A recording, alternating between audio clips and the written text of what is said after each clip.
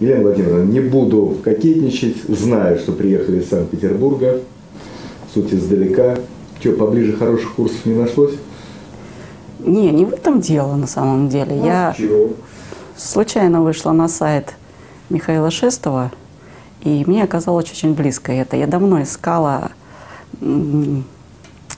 человека, который бы показал, как произносятся все эти слова. Потому что лично у меня самая главная беда была в том, что э, видя какое-то слово, я не могла его произносить. А раз я его не могу произнести, я его не запоминаю, не понимаю вообще, что, о чем речь вообще происходит.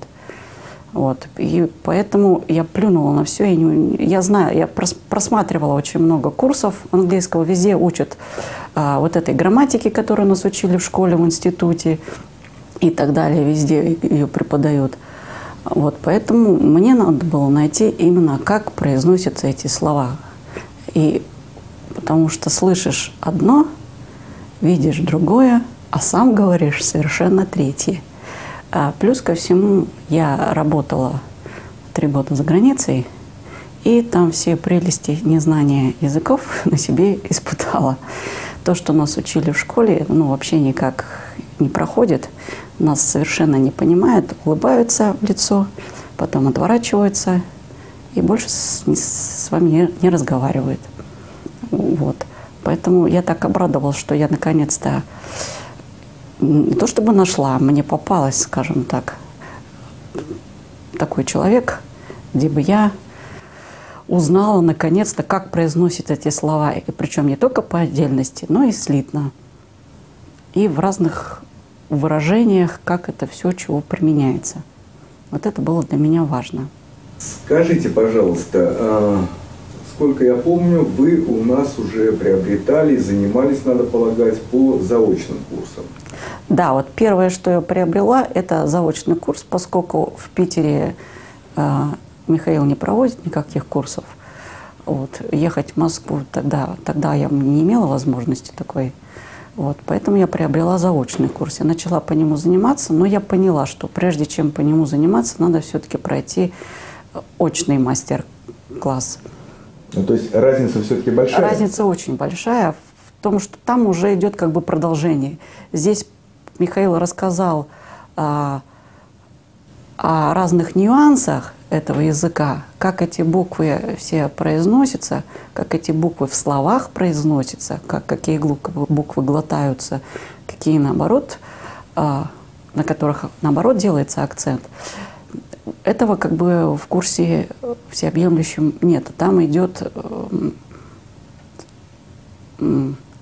скажем так, а, как, как бы такое слово подобрать? Ну, скажем так, та- там идет продолжение этого курса очного. Ну, поэтому, видите, мы и позиционируем это именно как заочный курс, а не, само, не самоучительный. Да, но у меня мысль-то первая была, раз заочный, значит, это примерно то же самое, что и очный, только я сама дома сижу, Ну, занимаюсь. самоучитель. Нет, там предполагается широкая такая и тесная связь э, Да, с но- преподавателем, безусловно, именно в той связи, о которой вы только что сказали. Ну вот, в принципе, даже любой заочный курс в любом вузе все-таки требует каких-то очных занятий. Все равно идет начитывание каких-то лекций базовых. Вот этот мастер-класс и как бы и есть вот это базовые лекции, после которых можно действительно уже самим заниматься дальше э, на заочном курсе. Ну, я бы это назвал, так скажем, высшей, что ли, так скажем, степенью вот э, этих очных занятий. Э, потому что у нас, в принципе, есть и очные курсы с авторизованными преподавателями, консультации. Ну, конечно, мастер-класс, безусловно, является вершиной, так скажем, творчества Михаила Юрьевича. Ну, Вот, ну, да не это- побоюсь такого высокого штиля. Ну, Это да, это я с вами соглашусь. Вот. Плюс ко всему, я же еще э, посмотрела э, вебинар, поучаствовала когда там давно. В принципе, даже, э, скажем так, через экран монитора от Михаила чувствуется вот его энергетика, и плюс ко всему чувствуется, что человек знает, что он говорит.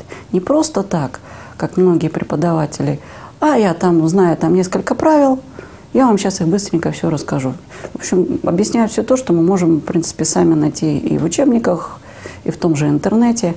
А тут именно преподается, так скажем так, более глубокие и более точные знания, основанные не основанные на физиологии, скажем так, человека,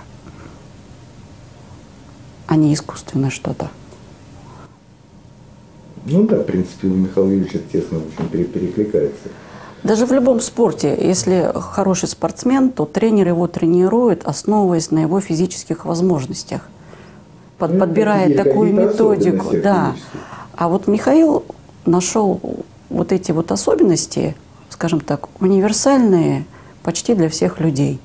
Дальше, если кто-то хочет сам отдельно совершенствоваться и чувствует где-то что-то не так, он может именно этого человека подправить, учитывая его особенности. А так, вот какие-то такие вещи языка, вот он нашел, вот, которые как бы лично в моей душе откликнулись. И я наконец поняла, что к чему. Вот. И плюс ко всему, я, может быть, там забегаю вперед. Нет, нет, пожалуйста. А, э, я поняла, что действительно сначала первичное, вот это правильное произношение, а вторичен уже смысл – смысл доходит сам собой как-то автоматически. Как-то вот организм сам находит ответ, что это такое, что это вот за слово означает, или что это действие за означает, высказанное вот такими вот словами.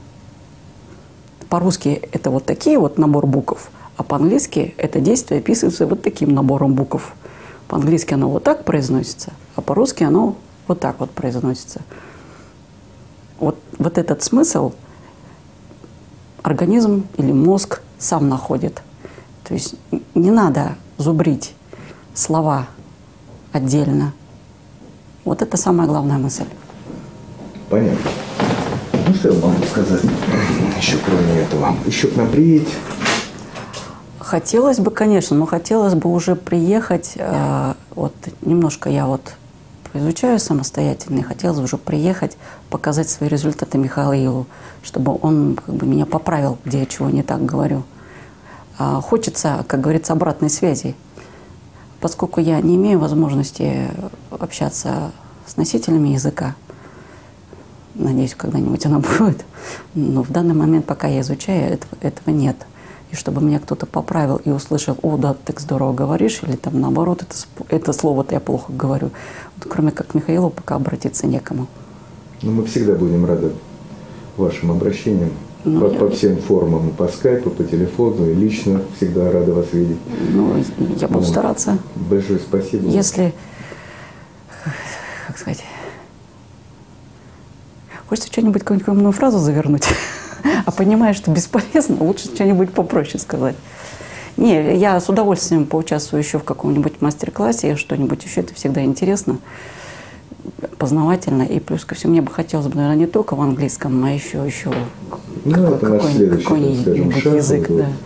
серьезное развитие других языков. Ну, это главное, чтобы не стоять на месте и развиваться дальше. Я надеюсь, что, а, я не знаю, как авторизированные преподаватели работают, я не, за, не занималась у них. Но хотелось бы, конечно, чтобы вот этот мастер-класс проходил не только в Москве и, и почаще. Учтем, учтем все ваши пожелания. Спасибо вам большое, были рады вас видеть.